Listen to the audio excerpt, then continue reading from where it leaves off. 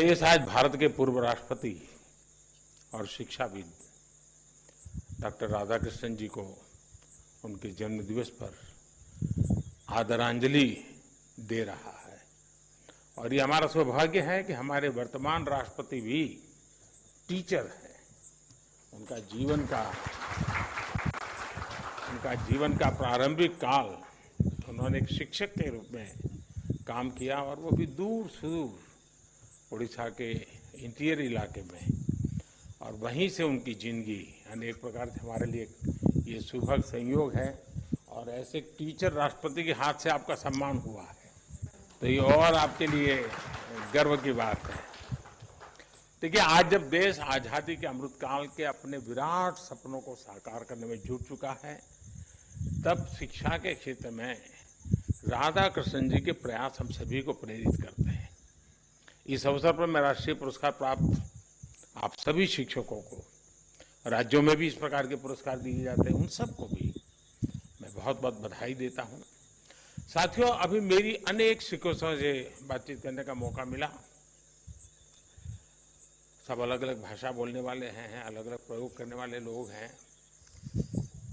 भाषा को अलग होगी, क्षेत्र अलग होगा, समस्याएँ अलग होगी।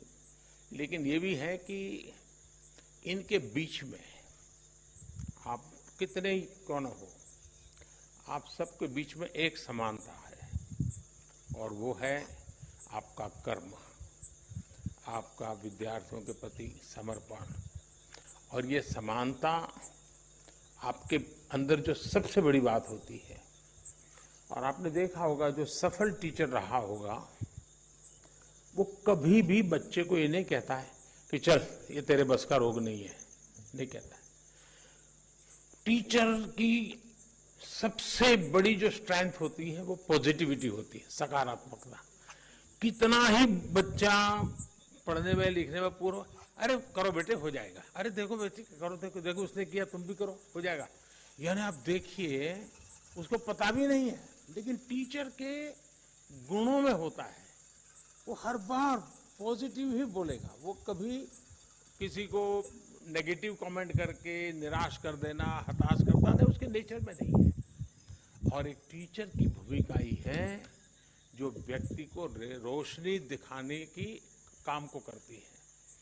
वो सपने बोती है, टीचर जो है ना, वो हर बच्चे के अंदर सपने बोता है और उसको संकल्प में परिवर्तित करने की ट्रेनिंग देता है। देख, ये सपना पूरा हो सकता है, तुम एक बार संकल्प लो, लग जाओ आपने देखा होगा कि वो बच्चा सपनों को संकल्प में परिवर्तित कर देता है और टीचर ने जो रास्ता दिखाया है, उसे वो सिद्ध कर करके रहता है। यानी